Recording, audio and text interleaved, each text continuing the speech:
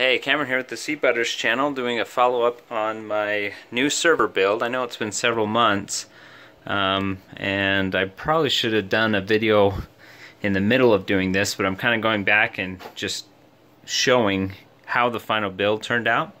So one problem I have is in my little utility box here I do have a small rack but it's not deep enough to really put any rails on. Um, so I did have a server case in here before, and it was just it it would mount and it would screw onto the rail, but it, I really couldn't get into the box because it was bolted on. This gives me the capability if I need to work on anything to just kind of pull the box out a little bit easier. Um, also, you know, this is actually a pretty tiny rack, and this box itself is super tiny. Look, look how big it is compared to my hand. I mean, it's it's not that big, but yet it holds eight three and a half inch drives, which is really what I was looking for. Now, right now I've got uh, what 72 terabytes in here, so I've got uh, two pairs of 10 terabyte drives and two pairs of six terabyte drives, eight total and they are set up mirrored in a ZFS configuration. The box itself boots um, ESXi off a thumb drive and then uses pass-through on a on a SATA controller uh, to to work with the drives there. So uh, if I go to the side here, obviously this is pulled open so you can see um, I have working in conjunction on two different data stores here are some Intel drives, 100 uh, gigabyte drives uh, those are the professional industrial SSDs with capacitors in them. And I'm running a few VMs off of that that I don't want to break. And the second one is just kind of like a, backup for those VMs. So I don't I couldn't actually get it set up in a mirrored configuration like I was originally thinking I might. But um, you know, I don't have anything super mission critical going on here. And I take backups pretty regularly. So um, there's actually five SSDs total. So I got the two Intel, and then there's two 512 MX100s, and those are set up as a mirror in uh, ZFS. Or sorry, they're actually they're actually a um, well in ZFS it's not a stripe, but the equivalent of a stripe in uh, ZFS, and those run uh, some of my virtual machines as well, uh, primarily a media server that does a lot of uh, download upload and I want it to be fast um, but backup isn't super critical on it. So if, if those SSDs go bad I just restore my backup I'll be fine. But there is an M2 SSD and that is the um, it's actually the Toshiba RD400 back there, so it's an NVMe drive, and that's running as a zero intent log uh, ZIL device to help the ZFS speed up a little bit. Um, whether it's actually doing that my workload, I'm not entirely certain. I need to do more testing, but just haven't gotten around to it. But uh, it is set up in that configuration. And then I've got my Noctua industrial fans um, and that little mini ITX board back there. Uh, and I might be able to get some better light on that. There we go.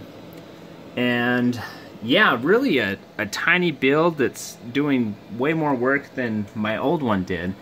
It also has 64 gigabytes of RAM with the slots available to expand to 128 in the future should I decide to do that. But let's go take a look on the software side because we might find that a little more interesting in terms of a video than just seeing the hardware kind of in place. So there we go. But yeah, I'm pretty happy with, with the build. It works really well. No problems at all so far. So I'm happy with every component in this thing. So let's go take a look at the software. Alright, so here we are and I've got the ESXi vSphere client opened up and this is our box right here. And as you can see, there's lots of processors core, processor cores doing their thing. Um, that's the media server. Here's here's the normal usage. It's pretty low. low server usage. There's just some web servers doing a few things.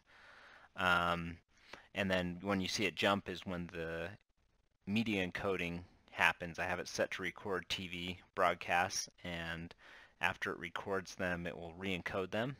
So that's where you see a lot of the CPU usage coming into play. But you can see here on the left hand side all the different uh, boxes that I'm running. I'm running uh, about eight different uh, machines virtualized on that ESXi box. Uh, the first and most important one is the ZFS OmniOS, uh, which is running uh, the several terabytes of all of my data storage uh, put together. It's also running a pfSense router. So the nice thing about this server build is it has two 10 gigabit um, Ethernet ports, which has allowed me to actually connect that box without a 10 gigabit router because those are kind of expensive into my office and that that setup requires its own video which I may get into in the future uh, how to how to run 10 gigabit without using a router of course it's just one machine to the server but since you're virtualized it's actually my workstation PC in the office to all eight of these machines so it's it works out and it allows me to copy uh, really large files over the network super fast, way faster than I could ever get with one gigabit. So anyways, then running several different uh, websites as well, and then the media server itself, which uh, you can see it pulled up here. It's kind of doing its thing, has Windows Media Center uh, set up to record, and a few other little cool things that it does. Um, but if I go to that ZFS, I just wanted to show this the script that I wrote. Uh, if anyone wants a copy of it, they can ask me and I'll be happy to provide it. But basically it lets me set up a target temperature that I want the hard drives to hit and it will automatically ramp the fan speed up and ramp the fan speed down using uh, IPMI interface, uh, which is pretty cool. Um, I guess I better show you uh, the ZFS server as well. Take a look at that. So I've got my pool here. And got about 30 terabytes usable after it's formatted and as you know I'm using some mirrors. So I've got two 10 terabyte pairs and two 6 terabyte pairs right there. And then I've got that uh, SSD VM store that I mentioned. And you may say, hey, these aren't 512s like you said. Well, I've kind of, um, what's the term? Uh, for a hard drive, it's short stroke, but for an SSD, uh, it's it really helps the performance if you don't partition them to the full size, you kind of hold it back and leave a lot of spare area available, which I've done with these SSDs because they're not running Windows per se. They're in a in an array using a kind of a non-standard file system. So in order for it to really work with garbage collection, I've just kind of formatted them a little bit smaller, which really helps the performance. And that, that I have tested, and it really helps to keep those a little bit slimmed down. So I have done that. And so that, that has provided me with a lot of space. So I've got this archive um, network drive uh, that I've used quite a bit of it, but I still have 15 terabytes free, which is a absolute ton of space. But if you're, you know, working on your Blu-ray collection or things like that, archiving your Blu-rays, it's it's nice to have a whole lot of space. And you can do it, you know, fairly inexpensively at this point. The drives are coming down, um, and you can get a lot of performance. So uh, maybe I'll just I'll just show you here. Um, this box that I'm running on right now has a Samsung 950 NVMe SSD, so it's it's actually super fast. Okay, so I was uh, moving some files around and realized that I had not enabled jumbo frames yet. I've just recently redone this computer, so that was our issue. So you can see here, Um, if I go to move this file, boom.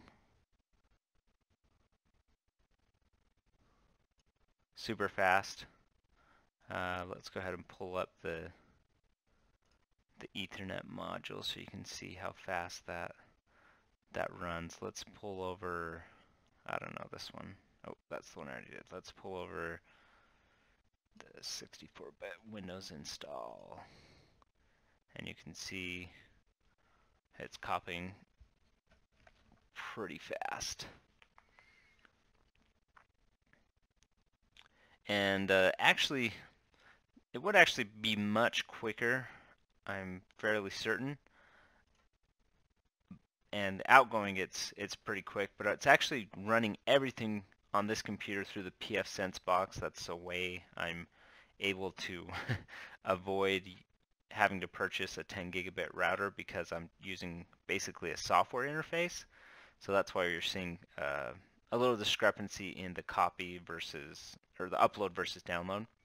So anyways, but much quicker than one gigabit networking, which is exactly what I wanted with that build. So let's hop back over to uh, the ZFS and it's really cool. If you haven't checked out ZFS, do some research. It's really great. The napp-it interface is nice. Um, I know a lot of people have moved virtualization to a lot of different platforms at this point. I'm used to ESXi and I really like it, especially, you know, the free version is good. I know there's uh, several other free options that are available now, but this works for me. Um, and let's take a look at the DIS.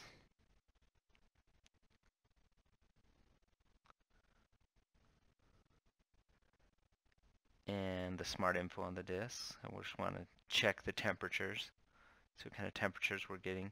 And as you saw in the ESXi platform, it wants these drives to be, uh, I think it was 40, 42 degrees is what I have it set to. So the hottest drive is what I've linked it to. So it will it will try to keep it below 42 degrees Celsius. And you can see it does a pretty good job there. So these drives are running nice and cool, especially the, I mean, look at these 10 terabyte drives. They run, they run pretty cool.